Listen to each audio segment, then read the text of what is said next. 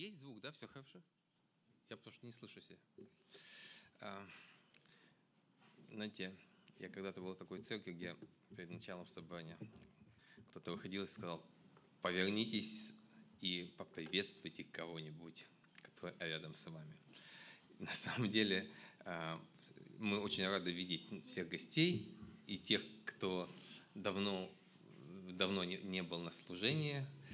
Поэтому с радостью приветствую вас всех и думаю, что мы будем начинать служение.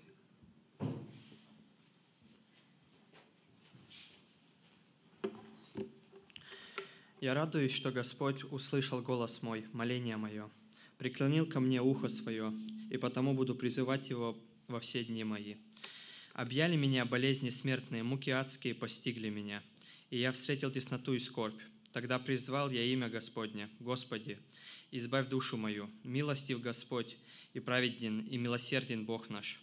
Хранит Господь простодушных, я изнемог, и Он помог мне. Возвратись, душа моя, в покой Твой, ибо Господь облагодетельствовал Тебя. Ты избавил душу мою от смерти, очи мои от слез и ноги мои от преткновения. Буду ходить пред лицом Господним на земле живых. Давайте прославим Бога.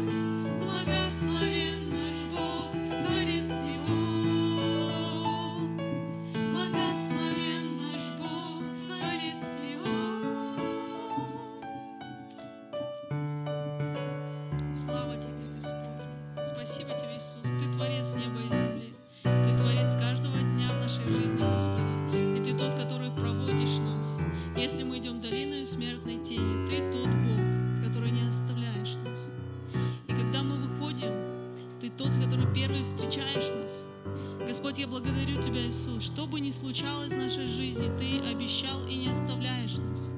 Ты ведешь нас за собой, и в Твоей руке сильной мы можем успокоиться. В Тебе мы можем найти уверенность, уверенность, что наше будущее в безопасности –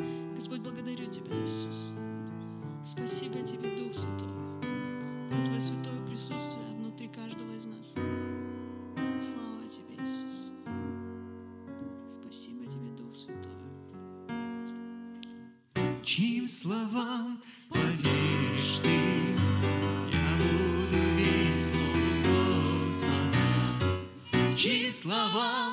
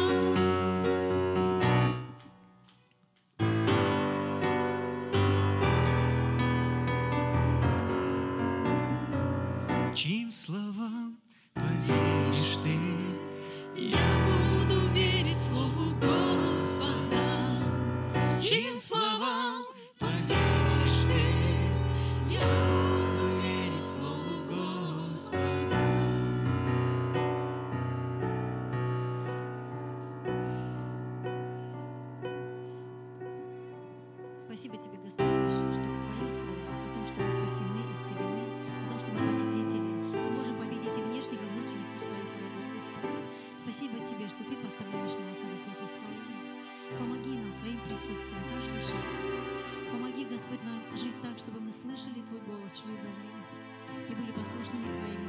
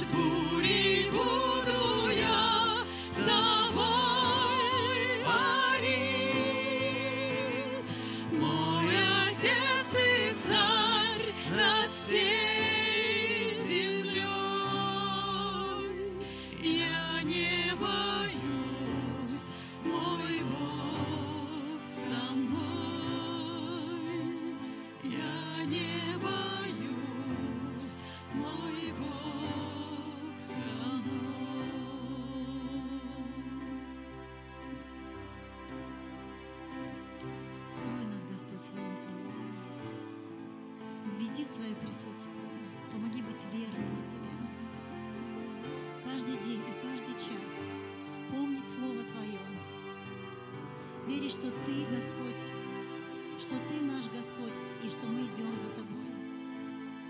Верить, что Бог воскресил Иисуса из мертвых. В любой ситуации есть выход. Аллилуйя. Спасибо Тебе, наш Бог. Пусть бушует шторм и гром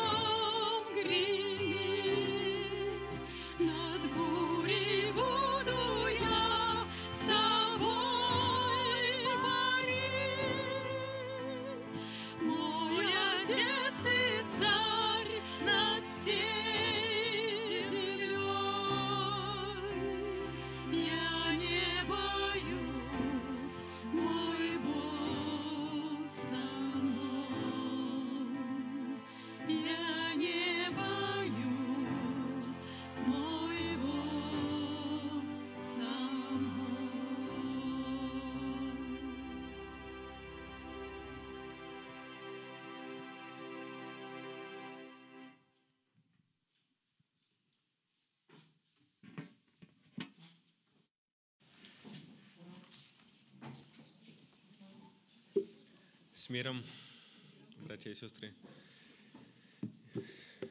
Я давно не проповедовал, так что будьте не снисходительны ко мне. Я хотел бы прочитать послание к Коласинам, э, третья глава, с первого стиха. Итак, если вы воскресли со Христом, то ищите горнего, где Христос сидит одесную Бога. О горнем помышляйте, и, а не о земном, ибо вы умерли, и жизнь ваша сокрыта со Христом в Боге. Когда же явится Христос, жизнь ваша, тогда и вы явитесь с Ним во славе. Итак, умертвите земные цели ваши, члены ваши, блуд, не- нечистоту, страсть, злую похоть и любостяжание, которое есть идолослужение, за которое гнев Божий грядет на сынов противления, в которых и вы некогда обращались, когда жили между ними. А теперь вы отложите все – гнев, ярость, злобу, злоречие, сквернословие уст ваших. Не говорите же лы-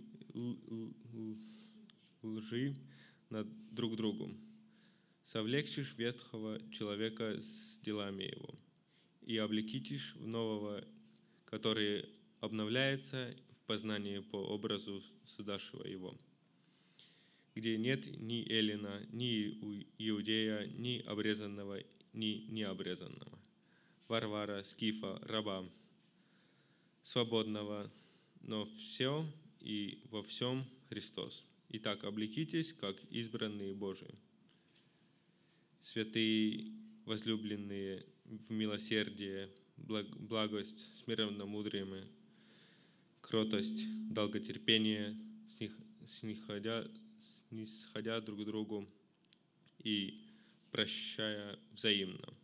Если кто-то на кого, если кто на кого имеет жалобу, как Христос простил вас, так и вы.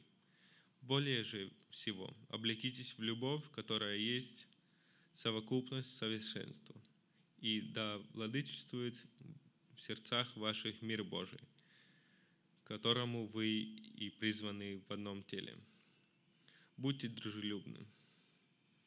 Слово Христово да и вселится в вас обильно, со всякой премудростью научите и вразумляйте друг друга псалмами, славословием и духовными песня, песнями. Во благодать воспевая в сердцах ваших Господу. И все, что вы делаете словом или делом, все делайте для делайте во имя Господа Иисуса Христа, благодаря через Него Бога Отца и Отца. для всего места. Мне пришли такие... Этот стих, я очень долго читал его, эти все стихи. И хотелось бы сказать, что э, бывает очень сложно, особенно вот эти места, когда написано «А теперь вы отложите все, все гнев, ярость, злобу, злоречие, сквернословие уст вас». Бывает сложно, когда тебя кто-то раздражает, бывает сложно не гни- гнев, гневаться на друг друга. И злобость приходит, бывает в жизни. Но если мы будем прославлять Бога, то Он поможет нам избавиться от этих чувств. Он, и, и Он прощает нас, когда мы это делаем. И, так что хотелось бы оставить такое, что надо не помнить эти вещи всегда, что если ты что-то сделал неправильно, потому что надо учиться от них, что так больше не делать, потому что Бог простил нам, но Он хочет научить нас через наши... То есть Он учит нас по жизни, как идти, если мы молимся Ему, и надо идти в милосердие, благости, долготерпение, с них сходя друг к другу и прощая взаимно. То есть, если тебя кто-то просит прощения, надо прощать, или даже если он не просит прощения, надо прощать его. Потому что мы не можем держать обиду на кого-то. Бывает сложно, особенно если несправедливо тебя осудили, несправедливо тебе что-то сделали, тебе хочется справедливости. Но Бог говорит, что надо милосердие оказывать и благость. Кротость надо, что не сразу возникать на кого-то.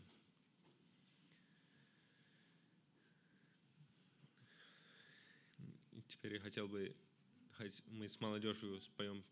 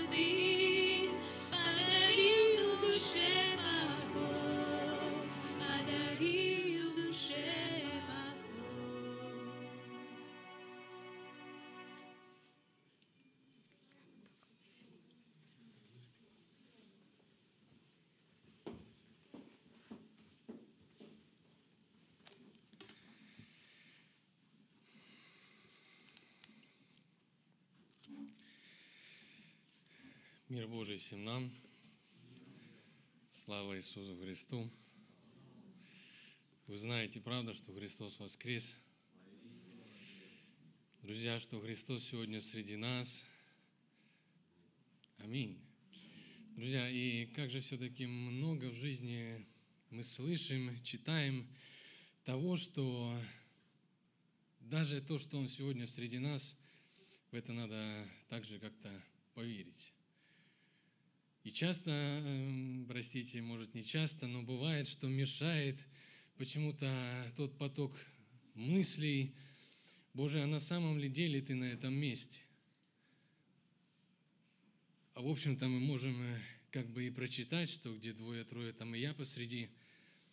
И поверив в это слово, сегодня стоять спокойно и не тревожиться, и знать, что Он сегодня посреди нас – и я думаю, это прекрасно. Каждый на своем месте может просканировать себя, друзья, и сегодня проверить, что меня сегодня наполняет. Смог как-то прославлять, а почему-то кто-то не смог и что-то мешало. Как все-таки также серьезная ответственность нам сегодня приняв слово, что я исцелен – друзья, на этом э, как-то устоять. Как прекрасно было бы, друзья, нам сегодня над этими бурями пролететь или полетать. Однажды у Иисуса в начале служения было такое и испытание или период жизни, когда Дух повел его в пустыню – Друзья, и там э, был такой интересный ответ тому искушавшему его. От Матфея 4.4. От Матфея 4.4. Он же сказал ему в ответ, написано, не хлебом одним будет жить человек, но всяким словом, исходящим из уст Божьих. Аминь. Уж извините, я не знаю, правильно ли слышу. Э, ну, не странно ли было то, что почему-то ученики по лодке прыгали, которая наполнялась водой в той буре, которая была там тогда, а Иисус почему-то спал. Друзья, не есть ли это сегодня то слово в жизни нашей, которое мы, к сожалению, порой не можем услышать, а суетимся – не зная на самом деле, что буря пройдет, друзья, и там будет все хорошо, спи спокойно. Я бы сегодня всем бы пожелал нам, друзья, чтобы не то, чтобы наши отношения с Богом были настроены, как будто бы они, знаете, расстраиваются, и мы тут вновь их настраиваем, друзья, но чтобы жизнь наша была на самом деле, чтобы мы способны были слышать то Слово, которая говорит, что я здесь, посреди вас, я в той буре, в которой ты сегодня находишься, будь спокоен. Да поможет нам всем в этом Господь. Аминь.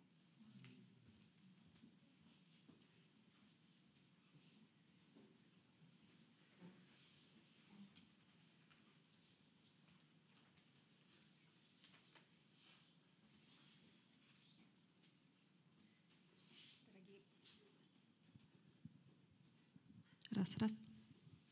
Дорогие братья и сестры, я вас приветствую. И сегодня я бы хотела спеть песню о Божьей любви.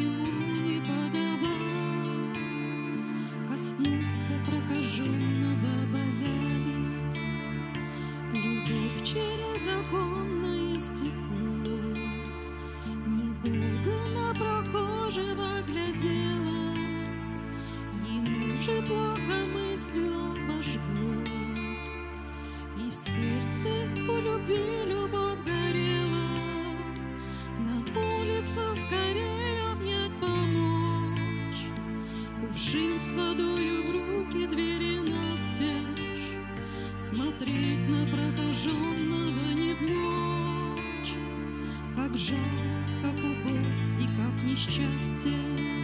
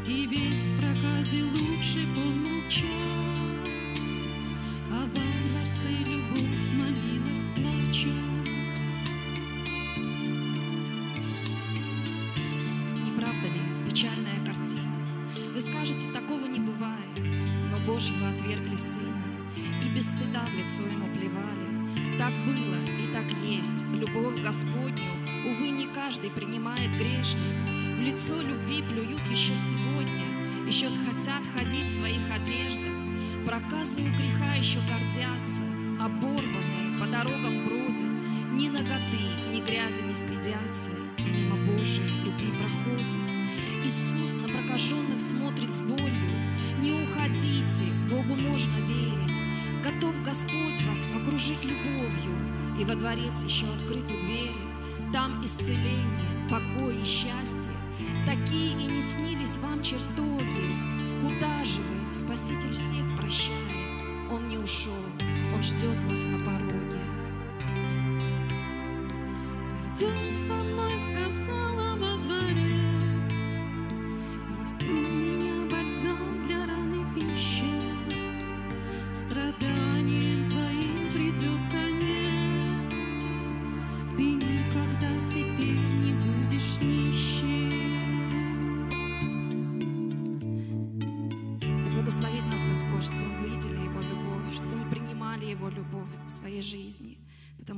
быть, часто легче отдавать, но сложнее принимать.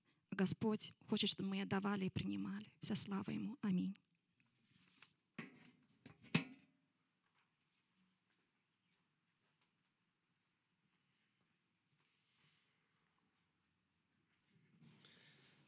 Мир вам.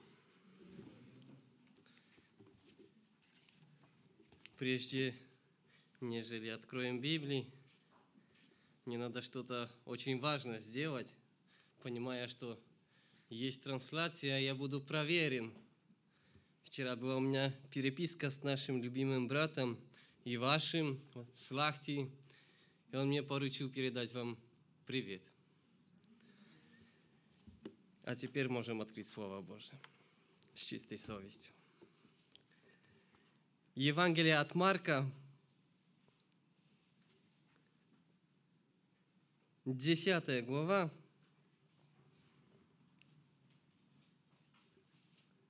с 28 стиха.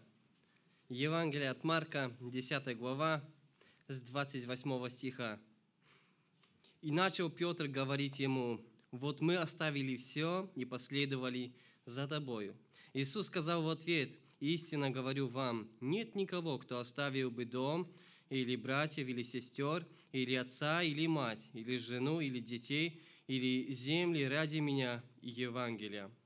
И не получил бы ныне во время сие среди гонений во сто крат более домов, и братьев, и сестер, и отцов, и матерей, и детей, и земель, а веки грядущим жизни вечной. Аминь.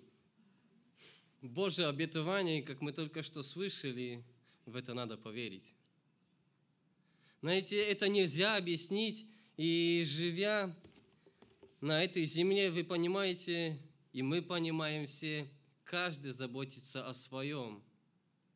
И каждый как будто берет грабли, и мы грабим под себя. Знаете, есть что-то такое заложено, и это нормально – но есть что-то большее, что говорит Слово Божие, и Божье Слово открывает нам какие-то обетования, которые тяжело поверить, если ты все привык грабить под себя. Знаете, тяжело это сделать, живя по правилам этого мира. Знаете, когда я об этом размышляю, хочется сказать слава Богу за времена, в которые мы живем. Потому что мы читали здесь такие вещи, что оставить. И оставить мужу, жену, жене мужа. И вы понимаете, и наверняка слышали много свидетельств. Еще не так давно, ну, сравнение не так давно, когда гонения, войны были. Вы понимаете, что это все реальность была. Когда читаем какие-то предания или слушаем знаете, на самом деле люди оставляли семьи, и когда читаем апостола Павла, вы понимаете, кто-то был пилой порезан, кого-то дикие животные съели. Были разлучения, кто-то потерял свой дом, кто-то потерял сына, дочь. Знаете, не хотелось бы сегодня о печальном говорить. Мы сегодня живем в прекрасное время. Мы живем в прекрасное время, и может так посмотреть, знаете, когда были войны всякие, когда кто-то с работы не возвращался домой, когда, может, кто-то, как апостол Савел на тот момент, входил домой, кого-то оттуда вытягивал и везли в Иерусалим, в темницы. Знаете, были времена, когда люди теряли и немало, и когда читаем деяния апостолов – знаете, удивительно, но люди умели переносить это с радостью. Я хочу немножко в реальность прийти. В сегодняшние времена, знаете, никто сегодня на самом деле, слава Богу, этого не делает. И может не приходится смотреть на те печальные картинки, но у меня есть один вопрос, который я задал себе, а что поменялось? Что поменялось, если читаем вот это обетование – Разве сегодня другие времена? Я верю, что как люди терялись вчера и третьего дня, так и сегодня люди что-то теряют. И есть на то обетование. Я не говорю бросать, знаете, без какого-то рассудка, но я верю, что есть сегодня хорошее время, и оно как будто жертвенность для Бога. Время посвящения, время отдавать что-то для Бога. И именно об этом говорит это место, знаете, это было всегда. И апостолы чем-то пожертвовали, и Петр так и говорит, мы ради Тебя все оставили. Знаете, легко ли им было? Шел Иисус и видит молодые люди с отцом, и звучит призыв «Идите за мной». Знаете, когда у тебя все схвачено, у тебя бизнес, отец, рыба хорошо продается, они просто взяли все, оставили и пошли. Знаете, так читая, знаете, как-то так быстро, может, и не задумаемся на самом деле, а ведь это решение, а не ради того молодого человека на тот момент, это был еще младше, чем я, который позвал. А ведь это начало пути, они еще не знали, за кем они пойдут. Но они оставили отца, оставили все, что у них было, и пошли за ним. Тот Матфей, который сидел, может, с чем-то, что давало какое-то обеспечение в жизни, Иисус подходит и говорит, оставь это, иди за мной. Но эти он оставляет и идет. Удивительные истории, но Иисус дает обетование, и однажды, как бы, знаете, возле всего учения Иисуса Петр понимает, что они сделали, и понимает то, что Иисус говорит, знаете, вообще-то я восполню все это. Он говорит, Иисус, а мы ради Тебя все оставили.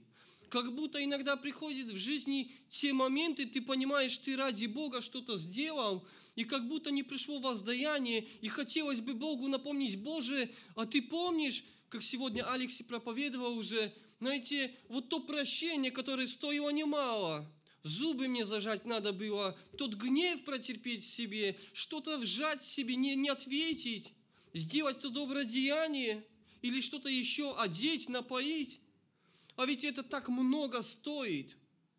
Это кажется со стороны, знаете, вот взяли, оставили отца и пошли за Иисусом. Значит, это вся жизнь, которая у них до тех пор была, они ее оставили.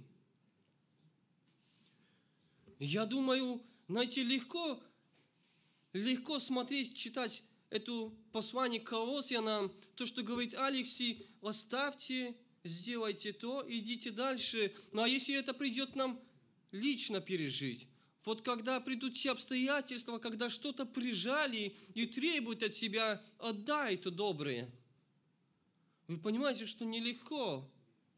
И Библия говорит, знаете, за все есть воздаяние. И иногда как будто тяжело. Я верю, что и Петр в тот момент не просто так говорит, Господи, мы все оставили. Знаете, иногда приходим в такие моменты, что мы не верим. Есть то неверие. Сеется что-то, как будто тупик, ты не видишь выхода, и ты вроде бы уже по тебе по тебе потоптали, есть воздаяние. И Господь говорит, знаете, время жертвовать, оно не поменялось. Может, количество кто-то жизнью жертвовал, кто-то семьей, домом раньше, но сегодня время не поменялось. Сегодня призыв Иисуса звучит, как и прежде, «Иди за мной». Может, сегодня тебе не так много придется оставить, но это есть путь до благословения. Знаете, сегодня, понимая, что 21 век, может, не приходится, как слушаешь некоторые свидетельства людей, которые Евангелию проводили через границу контрабандой, ведь рисковали – и кто-то наверняка не доехал до цели, кого-то арестовали. Иисус говорит, ради меня и Евангелий. Может, сегодня, сколько раз я в Польшу не ездил, знаете, за Библию никто меня не остановил, не спросил, что это такое даже. Но знаете, ради Евангелия может стоит кому-то открыть сегодня Евангелию – знаете, как бы это ни звучало, не вести куда-то дарить, пихать кому-то, читай Евангелию. Может, это уже высший шаг. Может, сегодня время просто открыть, почитать, что там написано ради Евангелия. Знаете, вещи, может, о которых не стоит говорить, но я думаю, что это сегодня так. Знаете, когда ради меня, кажется, что мы сегодня, мы собрались сегодня уже ради, Но когда я вникал в свою жизнь, что мы можем сделать ради Иисуса? Знаете, когда 21 век, техника, все вперед двигается, вы сами понимаете, может телефон отставить или отключить интернет, это уже будет та жертва, как потерять дом в то время или семью. Сегодня для некоторых, наверное, это стало Богом, если так назвать. Я верю, что призыв Иисуса, он сегодня звучит, как и в те дни. «Иди за мной». Что-то ради Евангелия, что-то ради имени моего. Знаете, я знаю, о чем говорю, потому что время выборов, оно у всех нас. Мы каждый день делаем какие-то выборы и что-то принимаем решение делать то или другое. Может встать пораньше. Вот это жертва. Помолиться, почитать Библию. Я верю, как сидеть до ночи. Я про себя, не про вас, не подумайте. Да YouTube открытый круглосуточно. И там точно найдут занятия для каждого из нас. Ради меня и Евангелий. Знаете, а вот в час ночи, если закрыть YouTube, открыть Библию, легко это или нет? Я думаю, определенная жертва. И Господь говорит, иди за мной. Вот то, что ты привык делать в своей жизни, ты хозяин, ты имеешь право. И Петр, знаете, в определенный момент жизни, идя, смотря, что не только он идет за Христом, но идет еще такая толпа, не маленькая. И они-то ничего не оставляли. Вот они показались на, на горизонте, а на следующий день их уже нету. И приходит вопрос, а почему им можно, а мне нельзя? Знаете, я не знаю, если бы увидеть этих мучеников за Иисуса Христа, появлялись ли у них вопросы, знаете, если их сегодня поставить в наши времена, у них возник бы вопрос, а почему они живут настолько хорошо, холодильники забиты полностью, имеют Евангелие, которое никто не запрещает читать, собираются свободно, и никто не гонит, а мы такое протерпели. Где воздаяние было тогда? Знаете, я хочу сказать слово утешения для каждого из нас, потому что иногда мы делаем что-то доброе и как будто не видим воздаяния, которое должно быть. Ты пошел за Господом, отдал свою жизнь, знаете, и как будто иногда хорошо, но вот то смирение, когда мне пришлось зубы в конце концов зажать и не ответить плохим на плохое, когда пришлось благословить того, кто мне делает плохое, когда пришлось дать стаканчик холодной воды тому, кто проклинает меня. Где же воздаяние? Иисус говорит, знаете, нету никого такого. Знаете, когда я читал эти слова, они настолько сильно запали. Нет никого. В это надо поверить. Это сказал Иисус, нет никого. Знаете, есть какая-то книга, наверное, где записывается все, что вы делаете. И если это худое что-то, то и пожнем это. Но если это то, что говорит Петр, мы все ради Тебя, ради имени Твоего оставили –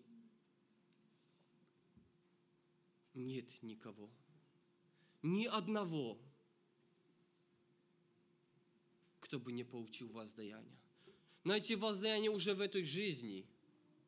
И на самом деле, знаете, может, я уехал с Польши, где мои родственники, где мои друзья. Ну, знаете, удивительно, ты можешь приехать в Финляндию и встретить такую семью, которая также тепло тебя примет, обнимет, накормит – напоит, которая будет тебе опорой. Я верю, что воздаяние, оно, как написано в этом месте, в этой жизни приходит. И знаете, этот Петр, который задает тут вопрос, Господи, мы все оставили. Где же воздаяние? И может, не понимал всего на тот момент, но когда Иисус ушел, он понимал, что те три года он жил в благодати Божией. Та сила, которую Иисус вручал ему для того, чтобы он мог пойти кого-то исцелить, на кого-то руку положить, найти те спасенные души, на которые он мог смотреть, это стоило. Это стоило оставить все то. Я верю сегодня, каждый из нас делаем в своей жизни выборы. И призыв звучит, иди за мной, ради меня, ради Евангелий. Но чтобы сделать что-то ради Евангелия, наверное, ее надо прочитать. Наверное, надо вникнуть, о чем говорил Иисус. Это те истины, про которые мы сегодня слышали с послания к. И легко об этом говорить, знаете, как-то теорию быстро прочитать. Но и когда задуматься, когда приходит что-то в нашей жизни, знаете, я хотел бы, чтобы мы утешались этой мыслью, нету никого.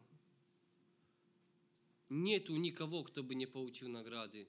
Знаете, и может на этой жизни не все увидим какие-то награды. Но жизнь вечна. Ради этого стоит. Знаете, когда читаем Евреям 11 главу, там идет перечисление мужей веры, и вы понимаете, там написано, что не все увидели обетование.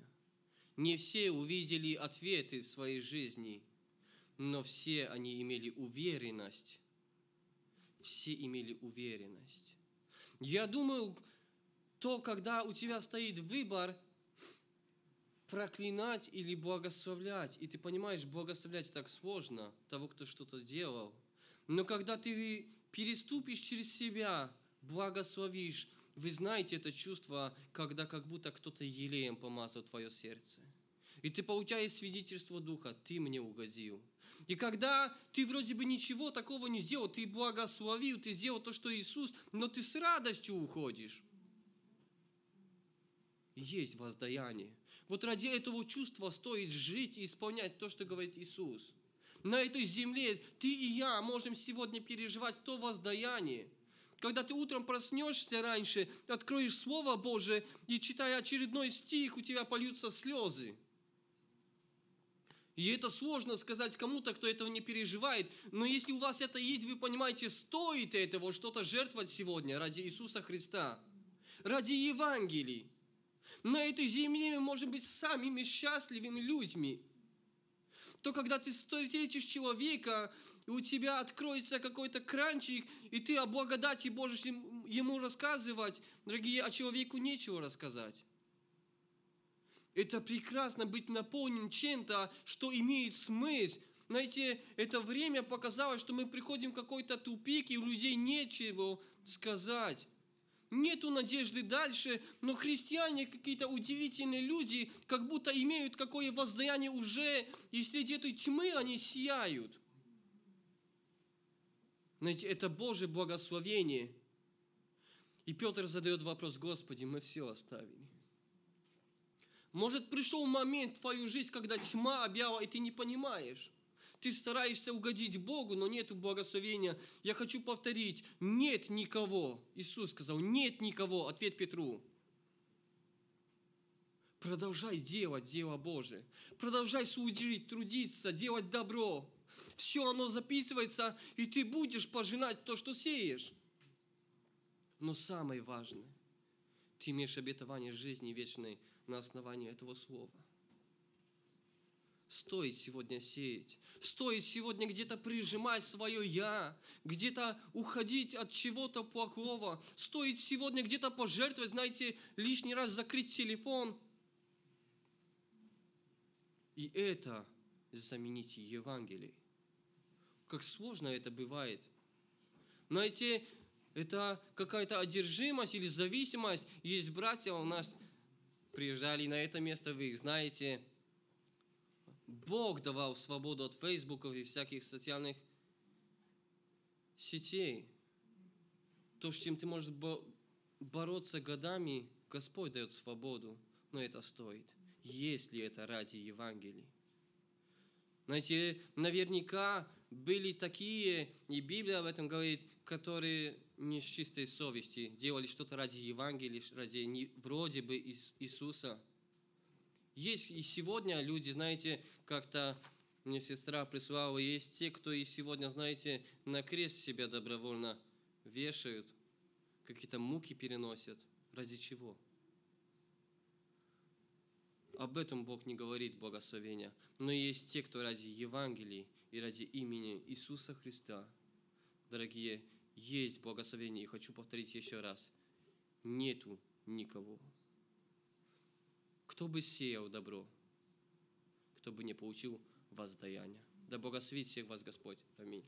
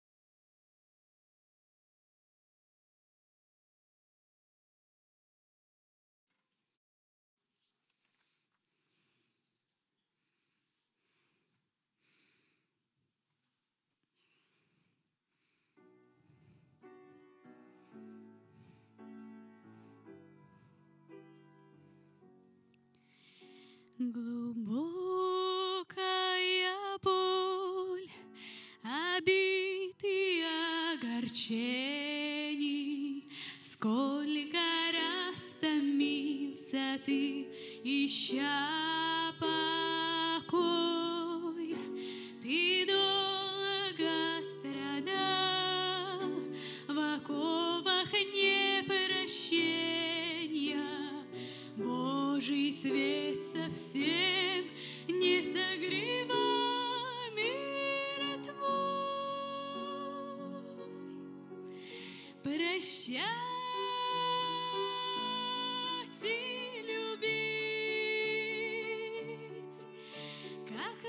je ne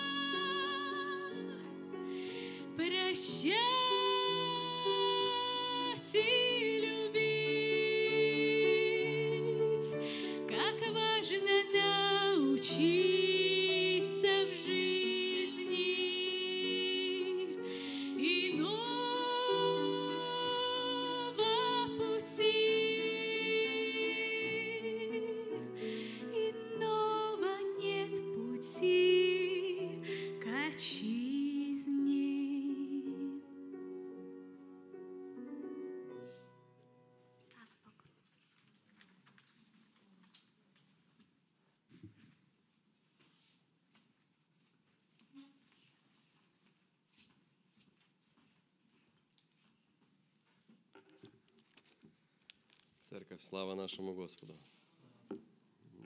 Конечно же, радостно снова быть у вас. Что-то мы зачистили. Надеюсь, вы так же искренны, как и мы. Мы весьма рады быть снова у вас, друзья. Слава нашему Богу. Потому что я ну, вижу, вы тоже любите Иисуса, правда? Вы любите Его. И мы Его любим. Поэтому стараемся не словом, а делом жить так, чтобы и Ему было приятно, глядя на нас. Потому что у нас живой Бог, друзья. Я верю, что живой Бог сюда привлек нас на это место. И живой Бог, только подумайте, если Он живой, это не просто идол, которого ты себе придумал, придумал образ поклонения какой-то, ну вот как себе это понятно, хочется, приемлемо. Нет, все от Него, Он живой. Представляете, с Ним можно иметь общение. С нашим Богом можно иметь, вот мы с вами можем давно не видеться, а приехали, общаемся. С нашим Богом можно иметь общение, друзья. Это такое счастье. И именно такие люди на самом-то деле, в общем-то, являются вот теми детьми Божьими. Потому что у них есть общение с Отцом. И все это благодаря тому, что Христос сказал, я-то не оставлю вас сиротами. Я пошлю вам Духа Святого. И Он вас будет как вот тот передатчик. Вы можете иметь с Ним общение, друзья. Такое счастье. Не всегда так бывает, что мы сохраняем это общение, но мы для того и собираемся в воскресный день. Одна из причин, чтобы друг другу помочь. Знаете, как раньше приемники вот эти были? Ну, кто-то помнит еще. Молодежь, наверное, не совсем понимает, о чем вообще речь идет. У нас еще такой был, когда мы уже жили в Финляндию, а, уже появился дигитальный, он тоже настраивающийся, но там циферки уже бежали. И мы ехали, подъезжаешь к Питеру, настраиваешь машине в радиостанцию, и машина ловит очередную яму в Выборге, и эта станция спрыгивает у тебя. Ты лезешь туда, хорошо, если это делает не водитель, а помощник его. А, Я думаю, что современные люди не понимают, о чем речь идет. Ты только ее нашел, как бы циферки, ну, я уже не говорю про то, когда там, помните, так шкала бегала. Но это искушение я помню. Мне было там 15-16 лет, ты едешь, наконец-то мы что-то настроили, будет приятно еще два часа по этим дорогам доехать до места, и вдруг эта яма, хлопа, она сбивается, эта станция, ну, волна. Ты начинаешь ее опять крутить, искать, думаешь, тихо, тихо, только бы все спокойно, а то сколько ж можно. Так вот иногда у нас ямы в жизни бывают, знаете, избилась. Вот ты слушал, а там еще была твоя любимая песня. Или что-то такая информация очень важная, хоп, и нету, и чш, там такая помехи. Думаешь, да что ж это такое? Включаешь, а там уже все закончилось. Поможет нам Господь, друзья, чтобы в этом служении ни у кого не сбилась волна. Знаете, как бывает? Сидел с, открытыми глазами. Вечер. Тепло. Что-то проповедник говорил, хоп, и ты уже обратно вернулся. Наша задача бодрствовать. Я знаю, о чем я говорю. И услышать что-то сегодня, друзья. Да поможет нам Господь. Я бы сегодня хотел одну тему говорить о том, о чем говорил, у нас было служение в Каркело, когда-то мы с братьями там ездили, проповедовали. Вот где, где проповедников, а там их было много. Слава Господу. И там вот я вел одну тему из 13 главы послания к евреям, и буквально разбирал почти по одному стиху мысли, которые, как я вижу, автор этого послания оставил церкви как наставление. Там почти каждый стих – это определенная тема, послание к церкви. Здесь было много, я вот перечислю с первого стиха. Там было братолюбие, там было страннолюбие, там было «помните узников», там был «брак у вас да будет честен, ложа непорочна», имейте нрав несрабролюбивый и так дальше. И, друзья, в седьмом стихе а, автор этого послания говорит так. Давайте прочтем. 13 глава послания к евреям и 7 стих. Написано так. «Поминайте наставников ваших, которые проповедовали вам Слово Божье, и, взирая на кончину их жизни, подражайте вере их». Аминь. Друзья, поминайте наставников ваших. А, Я думаю, вы, читающие Библию, знаете, да, что нашего Господа тоже называли наставником. Помните, да? Наставник, погибаем. Наставник, там, мы ловили рыбу и ничего не поймали. Какое-то хорошее такое слово, правда, наставник? Вам понятно, что оно значит? Но даже если вы киваете головой, я помогу вам быть еще более твердым. Я посмотрел, что же это значит. Я бы хотел говорить о наставничестве и о наставниках, которых надо поминать. Вообще, кто это такие? Ну, чтобы разобраться. Вот смотрите, эм, в одном из словарей написано так, что на- наставничество – это отношения, в которых опытный и более сведущий человек помогает менее опытному или менее сведущему усвоить определенные компетенции. Опыт и знания, относительно которых строятся отношения наставничества, могут касаться как особой профессиональной тематики, так и широкого круга вопросов личного развития, сферы применения наставничества, адаптация молодых специалистов, услуги личного развития и так дальше. Наставником называют лицо, которое передает знания и опыт. Если все это суммировать, я понял половину информации, может быть, и мимо вас прошло, но в двух словах, да, Нас- наставник – это человек, который делится знанием и опытом. А наставничество – это этот процесс, в котором находится. То есть там должен быть тот, который опытный, и тот, который менее опытный, правда? И передача информации, ну, волна. Нам надо передать что-то. Я не знаю, как вы читали этот текст всегда, но мне немножко всегда смущало это, сколько раз я не читал, что здесь написано, что нам надо помнить этих наставников, которые проповедовали нам Слово Божие, взирая на кончину их жизни. А, Меня это очень сильно напрягает, потому что если это наставник хороший, которого надо помнить, его наставление, что он мне говорил, то мне что, надо ждать, когда он закончится? И только тогда я сделаю вывод, о, это был человек, которого стоит послушать, правда? Или нет? Вот как вы понимаете это? Когда я посмотрел подстрочник, немножко другие переводы, все-таки мысль там состоит в том, чтобы взирать, там вот есть одно из значений вот этого слова, кончина, кончина именно, не обязательно конец, там вот есть выход или переправа. И вообще там в тексте написано, что взирая на переправу их жизненного пути или на выходы их жизненного пути. Это уже меняет смысл, и в этом есть зерно. Знаете почему? Потому что когда ты с таким человеком рядом, тебе не обязательно ждать, когда он умрет.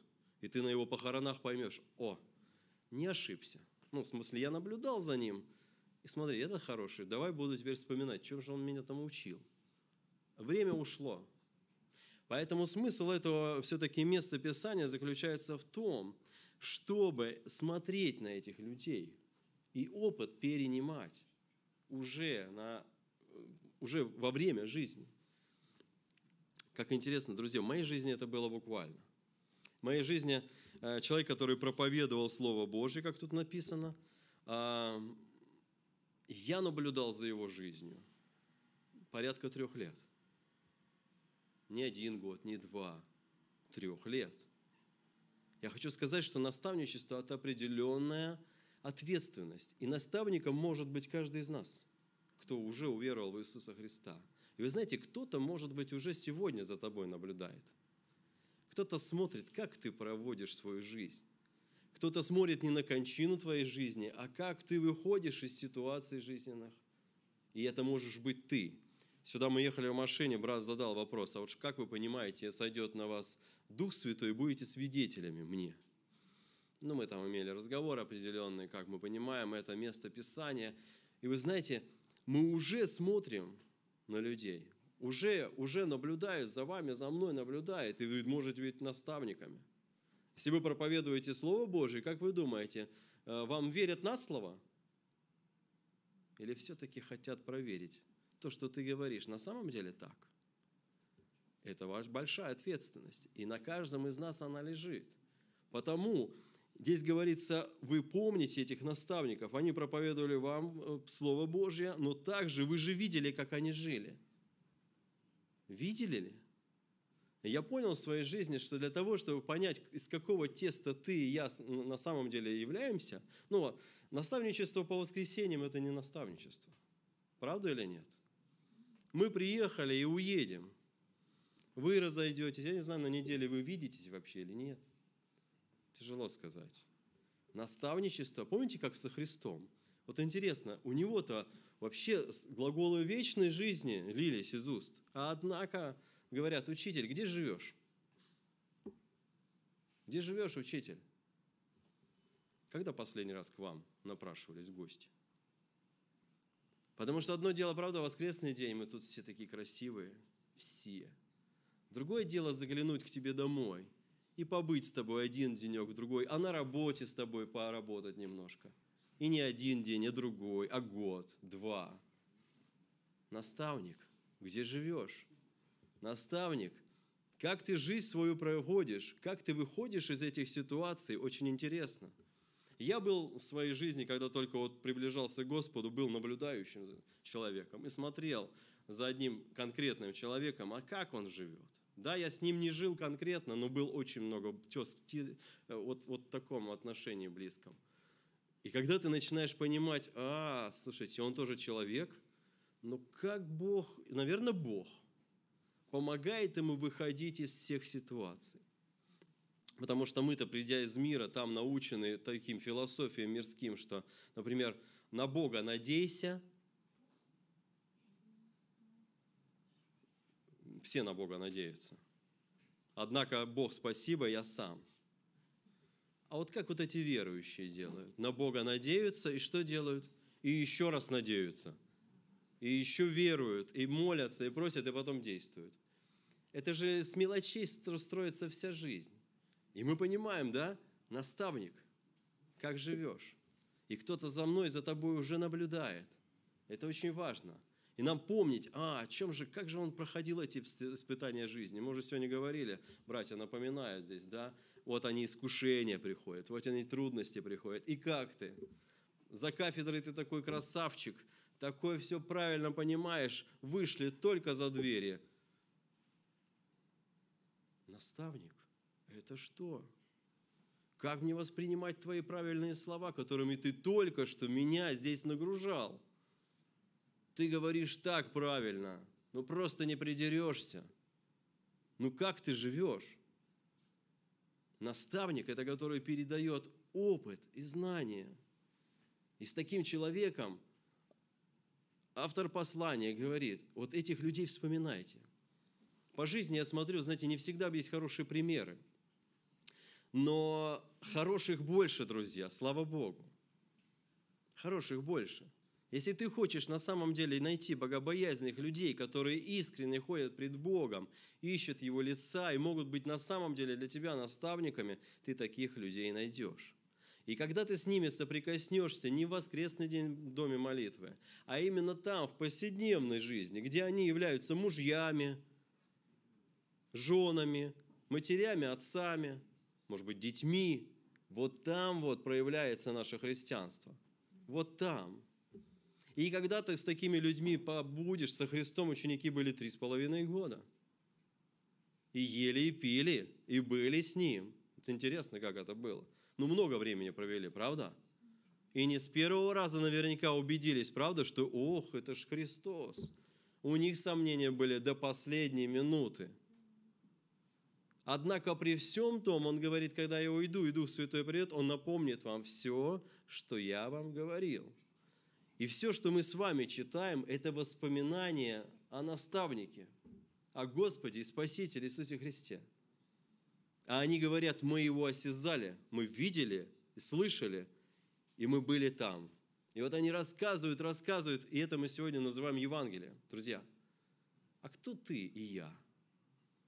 Хотел бы ты, чтобы рядом с тобой побыл какой-нибудь человек, и после этого был тем человеком, которому ты проповедовал Слово Божье, и он о тебе вспоминает, и знаете, что делает? Здесь написано, подражайте вере их. Не людям. Это очень важно подчеркнуть. Вот этих, вспоминая наставников, подражайте вере их, а не людям. Люди могут срываться. Правда мы можем срываться? Ну, все. Может быть, здесь и есть кто-то по-другому, но э, я не думаю. Мы все бываем. Но вы знаете, что нас в нашей вере, то есть в отношении с Богом, возвращает на позиции наставника, и на тебя опять можно смотреть и брать пример, это то, когда ты сорвался, ты как учил наш Господь, приходишь и просишь прощения, говоришь, простите, ты восстанавливаешь свой статус наставничества и идешь дальше. Если мы в этом пребываем, Господь поможет. И поминайте наставников ваших. Это очень серьезное слово для меня, по крайней мере. Смотрите на их жизнь, подражайте вере их, это очень важно. Наставничество э, полезно, когда мы к чему-то стремимся, друзья. В этой же главе а, э, автор этого послания продолжает. Давайте прочитаем 17 стих. Первый глагол сегодняшнего дня был «поминайте наставников», а второй глагол мы читаем «повинуйтесь наставникам вашим и будьте покорны, ибо они неусыпно пекутся о душах ваших, как обязанные дать отчет, чтобы они делали это с радостью, а не воздыхая, ибо это для вас не полезно. Друзья, у нас есть в жизни много чего-то неполезного. Второй глагол – повинуйтесь наставникам вашим. Знаете, для меня какой самый а, показательный пример наставничества? Это многие, наверное, здесь ездят за рулем, правда? У всех есть права. Ну, у большинства, наверное, правда? Вас всех и меня в том числе когда-то кто-то учил на права, правда? Ну, за рулем садиться. И все мы когда-то первый раз слышали, как нам говорили, что надо делать, когда ты садишься за руль, как надо нажимать куда, и еще и не смотреть, что ты нажимаешь, и еще за, смотреть за зеркалами, за приборами, за обстановкой, еще разговаривать с кем-то. И все это делать одновременно. Вы помните этот шок? Что? Да как это может быть вообще? И знаете, вот наставник сидит рядом, ну, инструктор. И вот он такой умный. Он только что там преподавал теорию, да? И там казалось, мне все получится. Но когда ты сел за руль и первый раз попробовал эту железку сдвинуть с места, ты понял, это что-то невероятное. А как можно одновременно переключать, тормозить и газовать? И еще смотреть за приборами – и общаться с инструктором. Конечно, сегодня мы уже такие наставники, ездим автоматически, и никто даже не думает об этом, правда? Давайте скажем, слава Богу. Слава Богу. Скоро будем ездить на автомат коробки, все вообще еще меньше проблем будет. Или больше, не знаю. Бог один знает. Ну вот инструктор, да, он садится рядом с тобой, и когда и начинает тебя учить, и говорит, слушай, делай, что я тебе говорю – и ты можешь сказать, да я сам могу. Вперед. Я думаю, если бы тебе дали, если это у нас здесь такие хорошие машины, а если бы ездили на «Жигулях» или на «Иш» москвиче когда-нибудь, кто-нибудь трогался, братья? Да, это жесткая школа. Я тоже с детства ездил за рулем. Однажды я уже на разных машинах ездил пацаном и думал, я уже все умею. Мне мой брат дал мне иш, каблук и говорит, а, поезжай. Я не мог в горку на нем тронуться. Я говорю, да что ты за машину вообще мне дал? Он говорит, ты на ней надо ездить особенным образом. а то привык тут на иномарках. Разные вещи. И он мне говорит, и представьте, мне было так, пришлось через себя переступать, чтобы моего старшего брата спросить, слышь, а что надо делать-то? Он говорит, ах, позорище. Ну, мы вместе у одного инструктора учились, это наш отец. Он говорит, делай так, так и так. Только тогда это, э, этот гроб поедет. Понимаешь? Запомни. Если ты так делать не будешь, ты не сдвинешься с места. Вот когда наставник, ты посмотришь на его жизнь, как он живет, он тебе говорит, делай так. Ты говоришь, да я сам умею, что ты мне тут командуешь? Попробуй. Второй глагол, повинуйтесь наставникам вашим, а это уже серьезно. Это уже связано с нашей волей, с моей личностью. Как это мне надо кого-то слушаться? Но смотрите, если ты этого наставника жизнь видишь, у тебя приходит к нему доверие, правда? Доверие мы зарабатываем годами, а теряем очень быстро. Доверие мы зарабатываем годами, а теряем настолько мгновенно бывает. И уже ты не можешь ему доверять. С этим наставником ты садишься в машину. Почему я э, связываю эти два стиха «Повинуйтесь и помните»? Э, Могу опять говорить только про свою жизнь. Мой отец для меня был всегда авторитетом. За рулем он там 40 лет, там, без аварий, без особых штрафов. Но это профессионал своего дела. Профессиональным водителем работал много лет, лет 20, наверное. Он для меня был наставником. И вы знаете, я ему верил, потому что знаете почему? Я знал, как он ездит.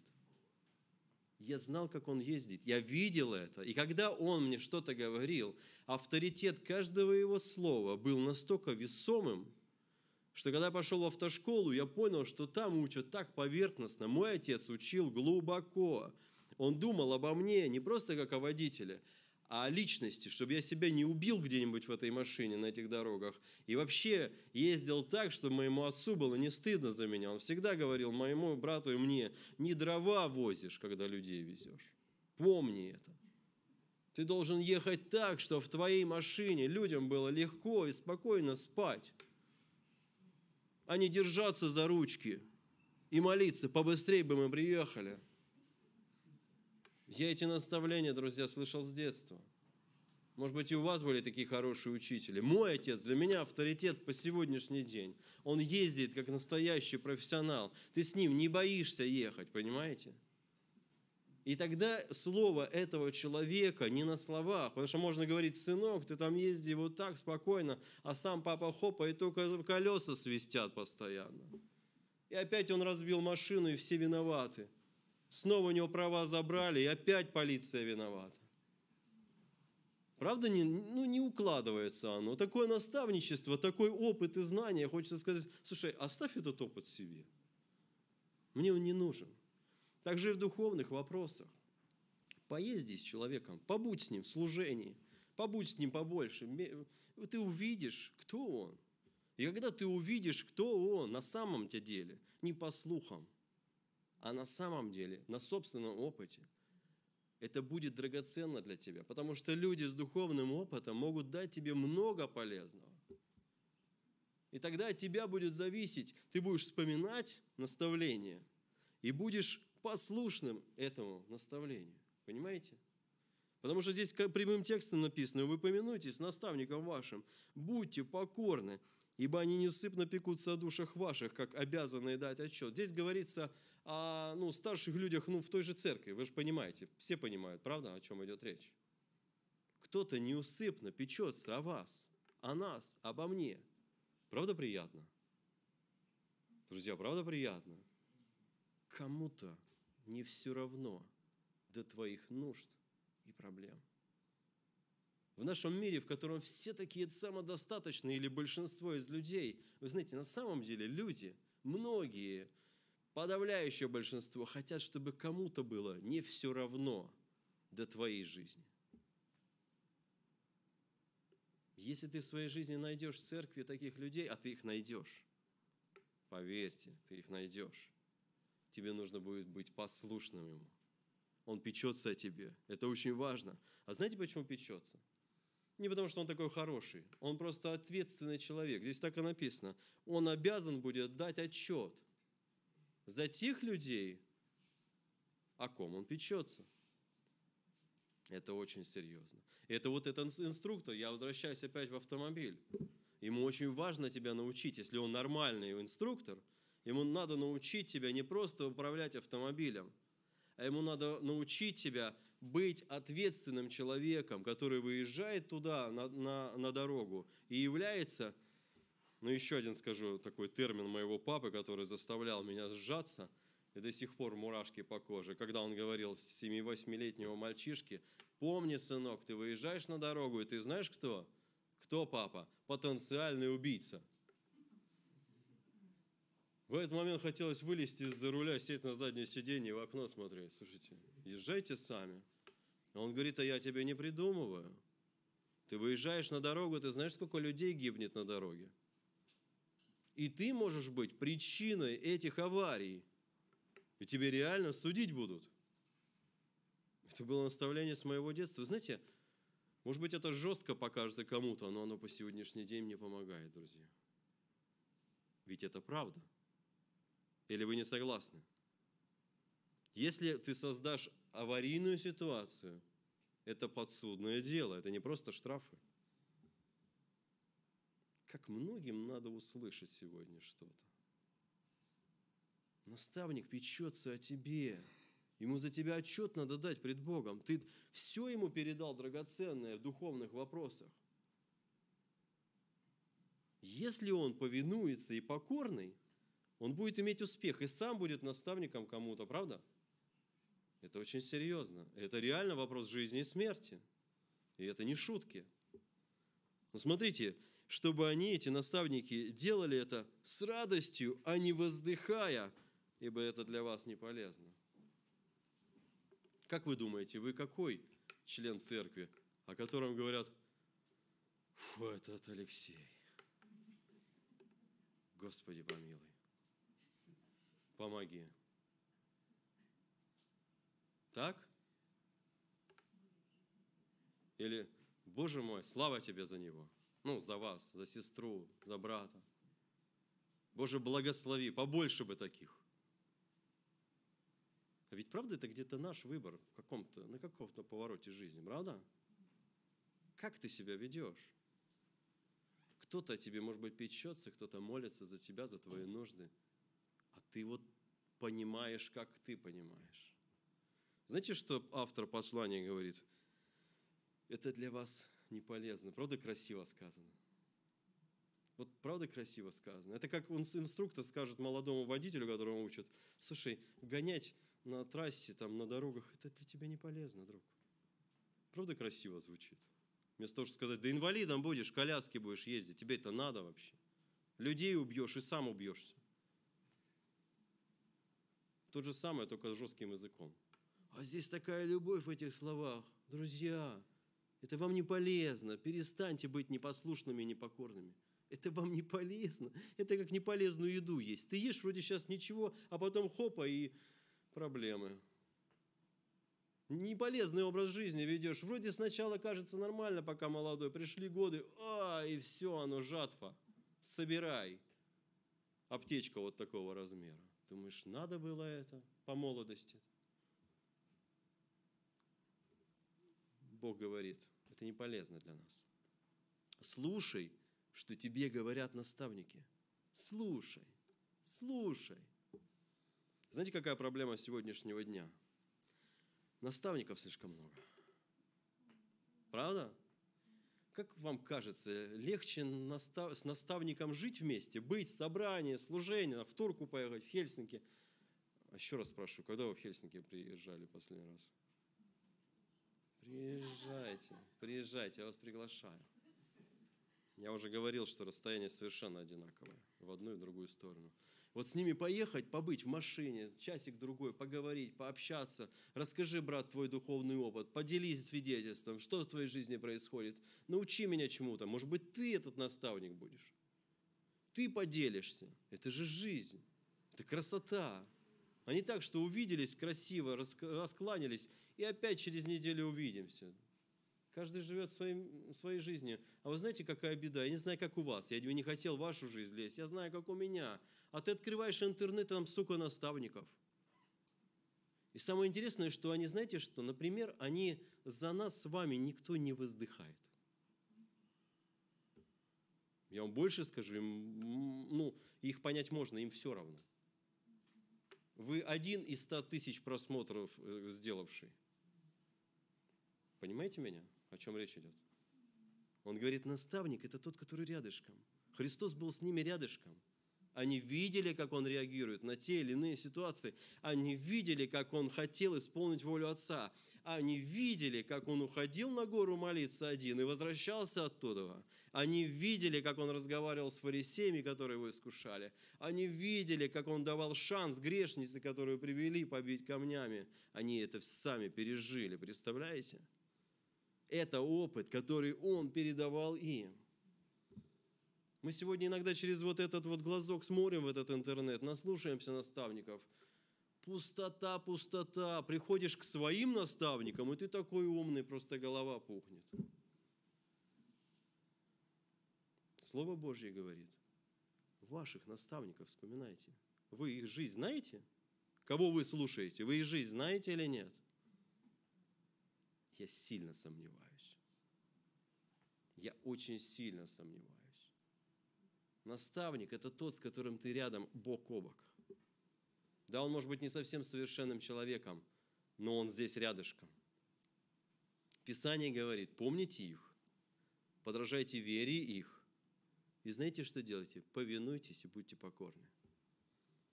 Хотите быть здоровыми на пенсии? Это вам полезно.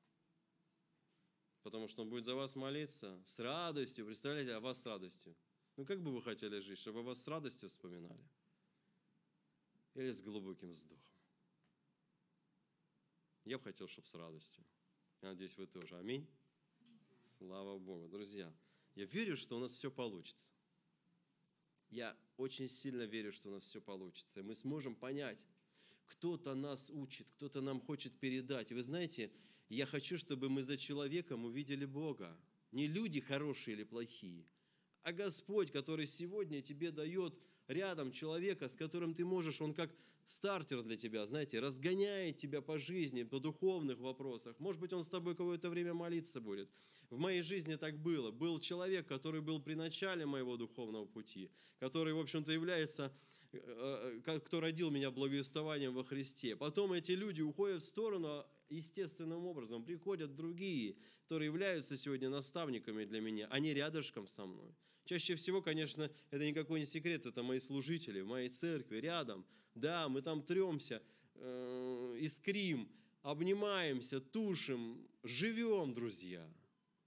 Есть близкий круг общения, люди, которые могут вам рассказать о том, как я дома живу, о том, как я на работе себя веду. Так или нет? Как я с детьми своими обращаюсь? Как я с женой своей себя веду? У нее бы спросить, правда? Наставник, зови жену свою. Ты так красиво говоришь. А она что скажет про тебя? Правда, вот это наставничество? И когда ты наблюдаешь за этим, а я уверен, что у нас есть полное право наблюдать и делать выводы – и сказать, знаете, вот через этого человека я хочу брать опыт духовной жизни и расти. А что-то, может быть, и отвергать. Это наш выбор. Поэтому Бог учит в Слове Божьем, смотрите, наблюдайте, повинуйтесь, будьте покорны, и Бог вас благословит, и вы будете успешны в духовных вопросах. Еще один глагол с этим связан, записан фессалоникийцам – я читаю первое послание Фессалоникийцам. Пятая глава. 12 стих. Пятая глава, первое послание Фессалоникийцам с 12 стиха. «Просим же вас, братья, уважать трудящихся у вас и предстоятелей ваших в Господе, и вразумляющих вас, и почитать их преимущественно с любовью за дело их. Будьте в мире между собой. Правда хорошее наставление? Уважайте, почитайте предстоятелей ваших. И те, кто трудятся, может быть, это вы. А если мы друг друга будем почитать, представляете? Какая любовь.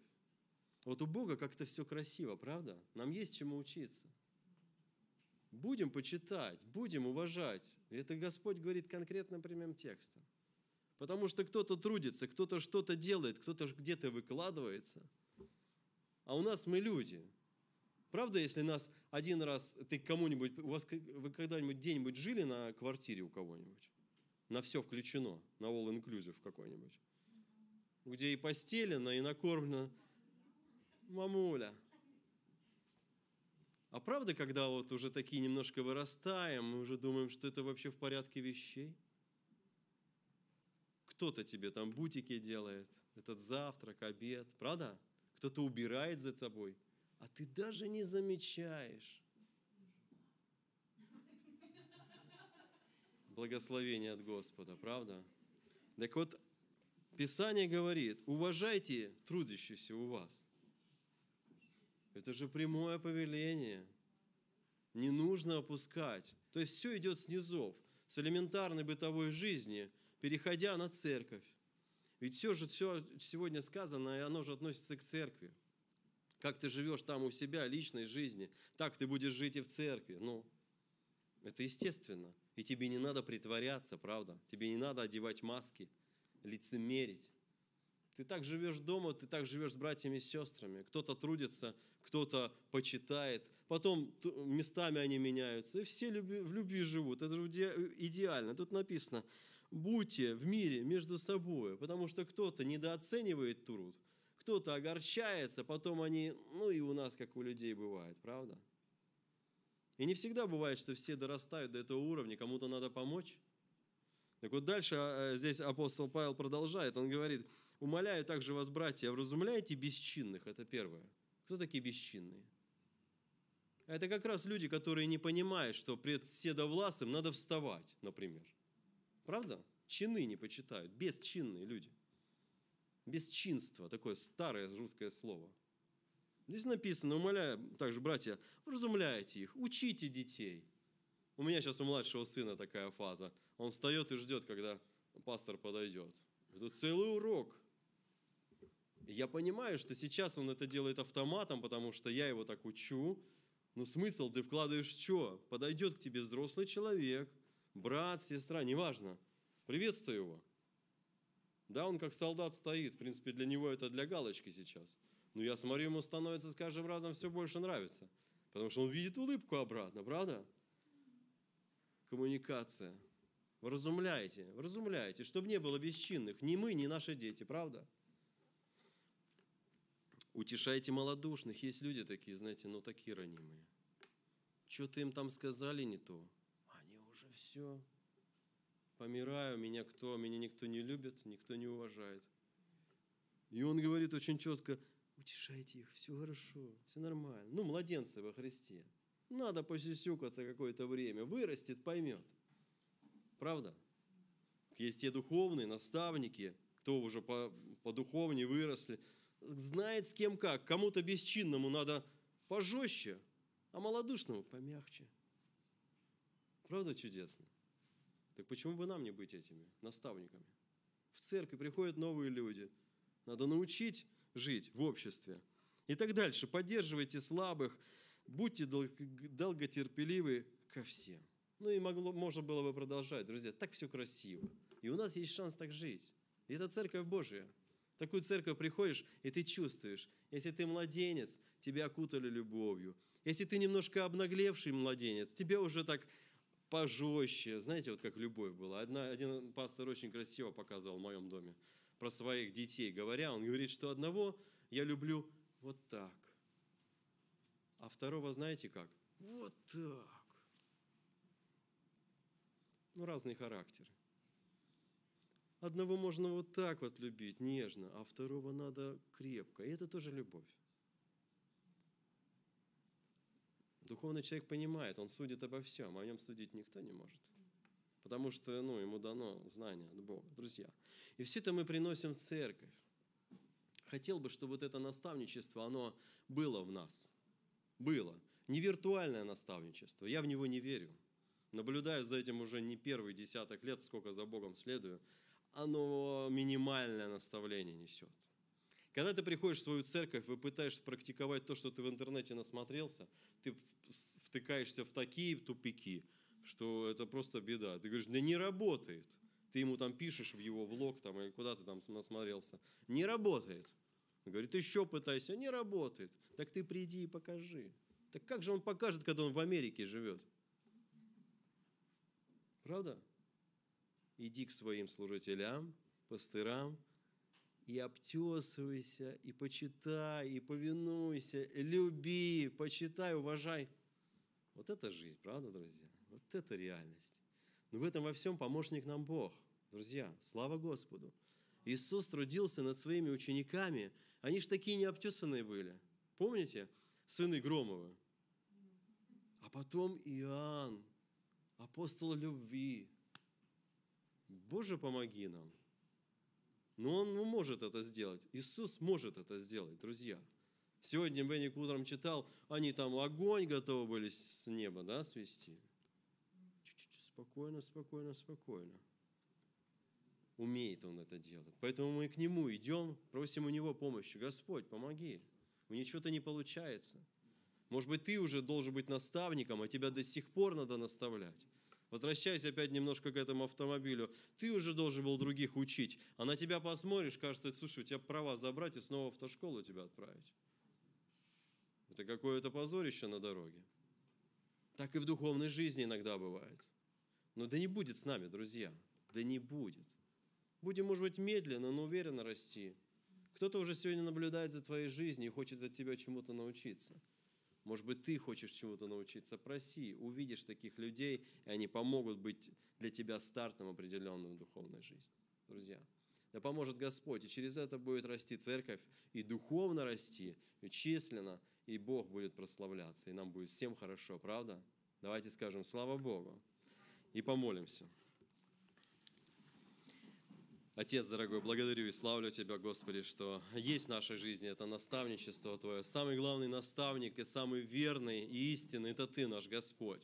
В Слове Своем, Боже, Ты оставил для нас так много этих наставлений. Боже, помоги нам дорожить этим, Господь, и в жизни своей понять и исполнить, Господь. Но я верю, Господи, также Ты говоришь, что и в жизни нашей есть непосредственные люди, впереди нас идущие, более опытные, которые более имеют познание о Боге, которые могут многому нас доброму научить. Помоги нам быть послушными им и через это Тебе, Господь, через это возрастать духовно.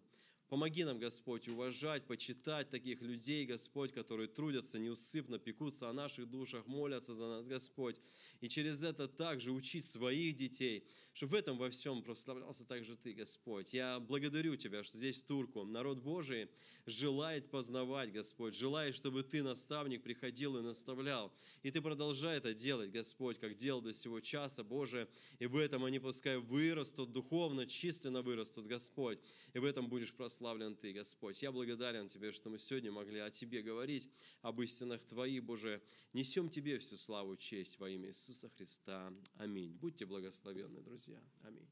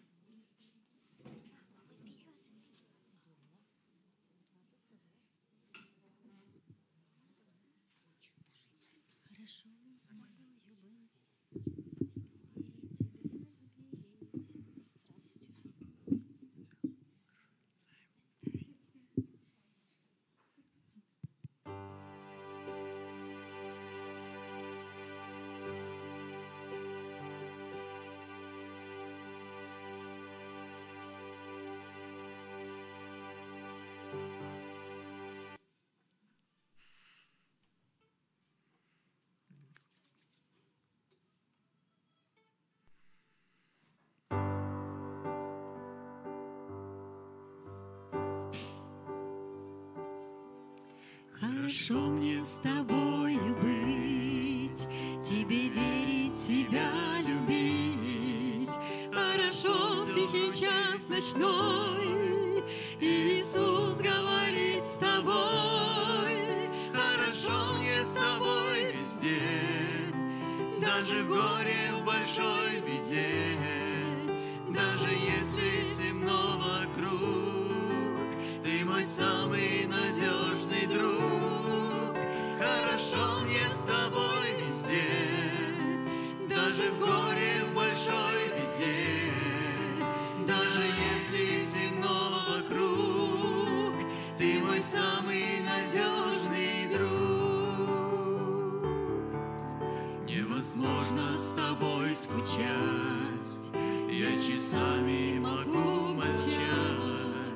молчать,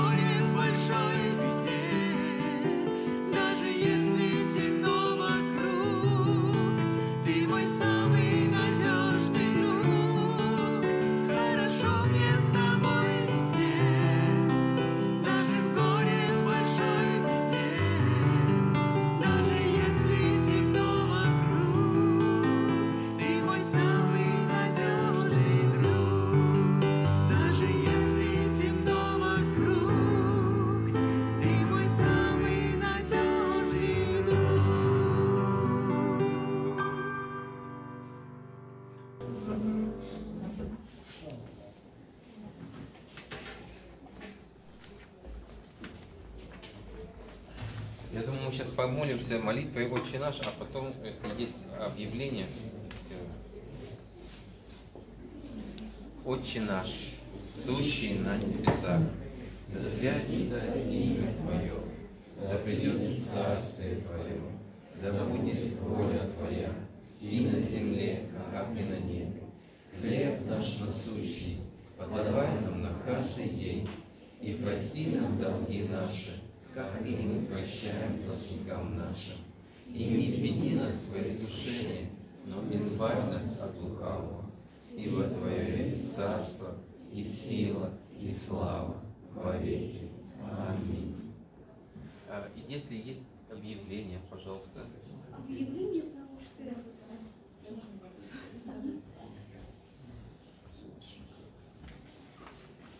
Дорогие друзья, я хочу просто вам напомнить, что все равно каждый вторник в 7 часов молитва. Пока что у меня дома, потому что за неимением церковного помещения. И я хочу напомнить о важности молитвы.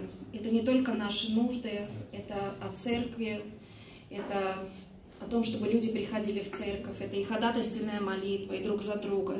И у кого есть желание, добро пожаловать всегда. Так что я об этом еще раз хотела вам напомнить. Спасибо.